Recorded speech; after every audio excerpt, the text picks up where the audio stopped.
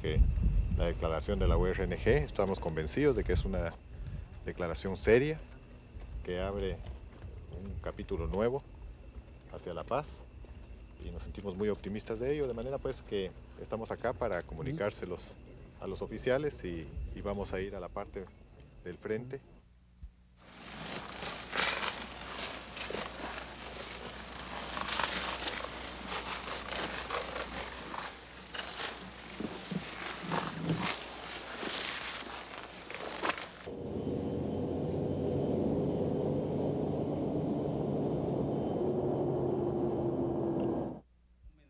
Especial para los señores oficiales.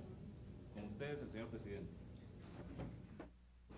La URNG ha decretado un cese de las hostilidades y que nosotros vamos a respetar y que nosotros estamos convencidos que es una actitud seria, de confianza, que encamina al país sobre la senda de la paz, de la confraternidad y del desarrollo.